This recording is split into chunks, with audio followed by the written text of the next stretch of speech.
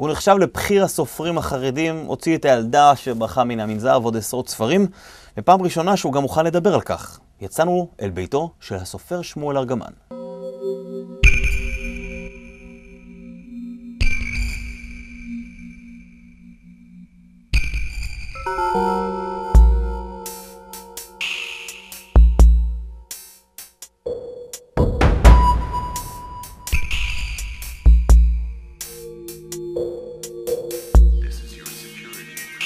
אני מחזיק בידי את הספר זהות עלומה של הסופר שמואל ארגמן, שגר שני רחובות מבית הוריי בבית וגן ירושלים.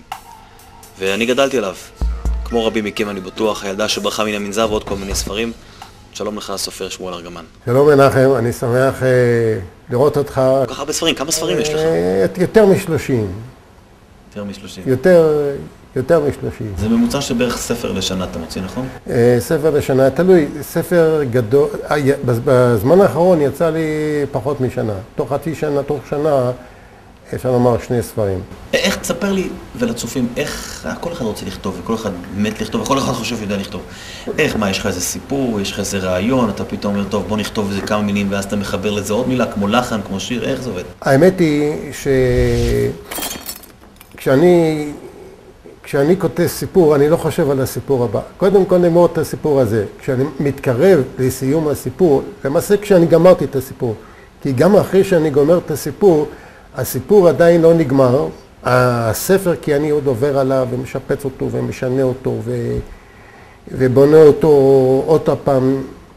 ואז כשאני רואה שאני מתקרב, אני מתחיל לחשוב על הסיפור הבא. אתה עוד היית לדעתי המנהל מערכת של העיתון זרקור, העיתון הפופולרי, היינו מחכים לו כל שבוע. מה קרה עם זרקור בעצם? למה זה נסגר? למה זה גם משום שעיתונים, כל, ה- התח- כל העיתונים התחילו להוציא עיתונים, כל העיתונים החרדיים וגם הדתיים, עיתון, עיתון משפחה הוציא עיתון ילדים, עיתון, אה, כל העיתון, אה, גם העיתונים, המודיע ויתד נאמן, כולם, אני ראיתי שהתפוצה יורדת. כשהעיתון נסגר אחרי חצי שנה, מישהו קנה את העיתון והתנועה להפצת תורה והעיתון ממשיך עד היום. העיקר שאתה ממשיך לכתוב ספרים.